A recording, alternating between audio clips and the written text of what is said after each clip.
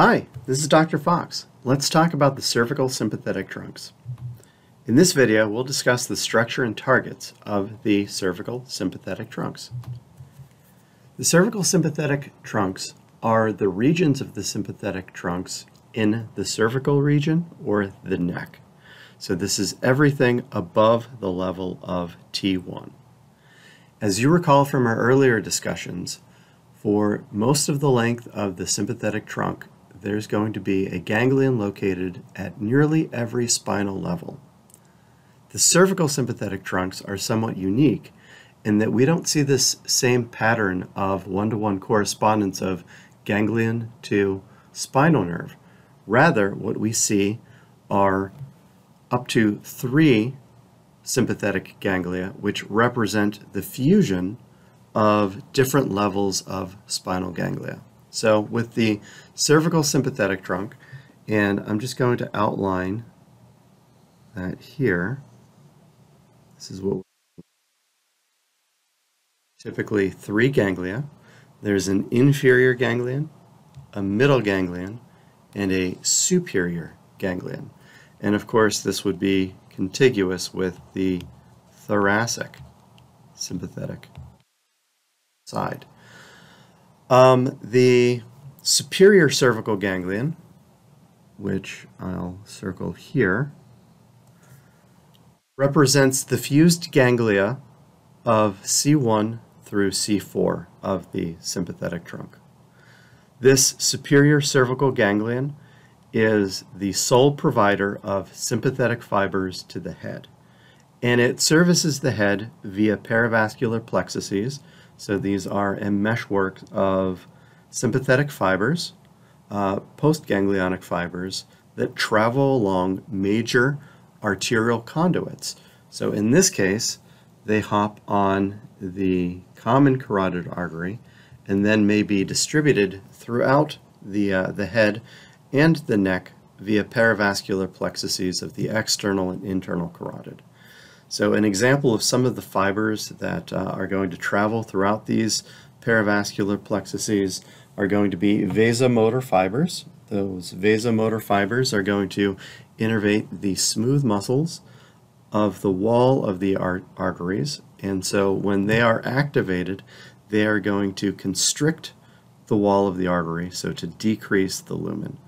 There are also going to be sudomotor fibers.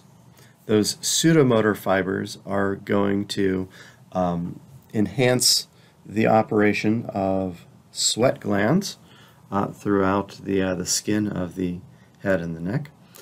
Also coming off of the superior cervical ganglia, we're going to see um, branches that descend the neck and head towards the thoracic cavity, specifically to participate in uh, the um, cardiac plexus, which is an autonomic plexus that's going to help regulate uh, the heart rate extrinsically. And we'll talk more about that um, in block three when we discuss the autonomics of the, uh, of the thorax. So as we move down the cervical sympathetic trunk, we come to the middle cervical ganglion. The middle cervical ganglion is quite variable. In fact, uh, most of the time um, it is absent.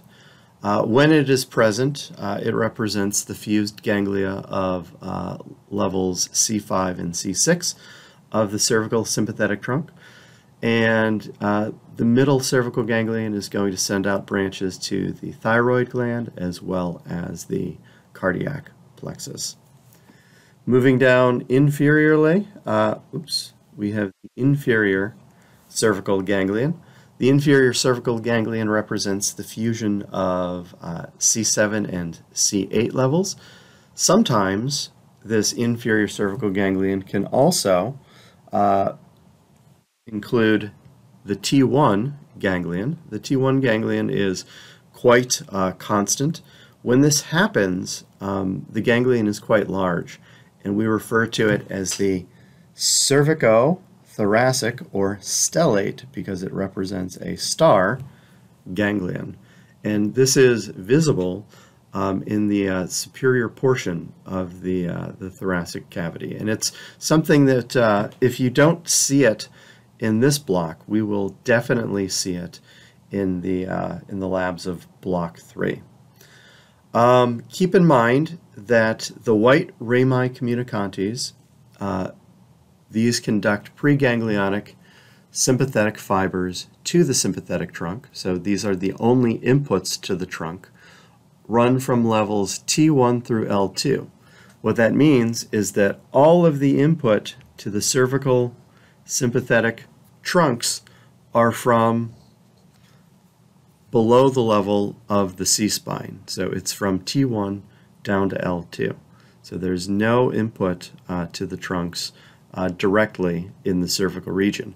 Only output from gray rami communicantes or from branches directly from the, uh, the ganglia.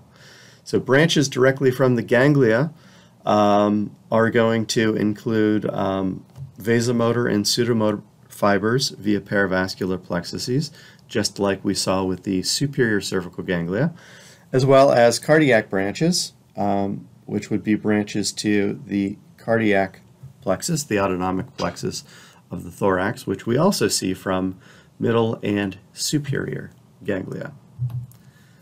So we've discussed the cervical sympathetic trunks and the superior, middle, and inferior ganglia, which form the bulk of those trunks.